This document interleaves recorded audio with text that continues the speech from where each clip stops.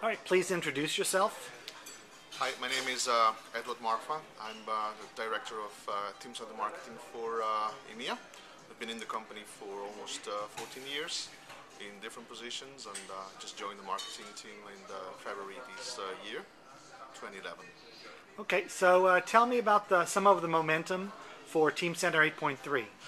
Well, Jerry, we're very happy about this uh, this release, especially 8.3. 8.3 has been a really special release for us. Uh, our customers are uh, really valuing uh, uh, the performance, uh, how it works, and especially the speed of uh, of, uh, of this release, and also the breadth and the and the width of the applications we deliver in in, the, in 8.3.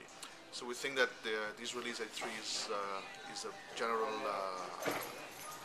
General distribution, and a lot of customers are going are adapting that and are going to adapt that in the future. So tell me a little bit about the momentum of our Teamcenter customers.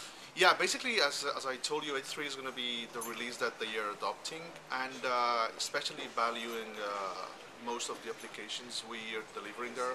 All the program and portfolio management, systems engineering has been uh, really well received by, by our customers, and uh, and also all the new uh, high definition uh, experience we we starting to look and to see in the 8.3 in Teamcenter 8.3.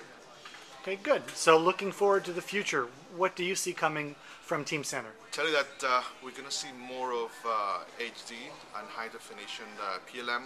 So we recently launched uh, Mobility last March. We just launched uh, a second version of Mobility, which is Teamcenter client on the iPad. And uh, our customers are looking very interested uh, in this kind of solution and how can we use uh, Teamcenter in a different way just to improve the usability, to improve how users are going to perceive uh, Teamcenter solutions.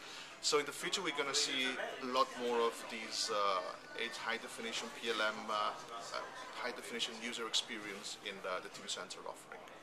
Great. Well, thank you very much for your time. My pleasure. Thank you.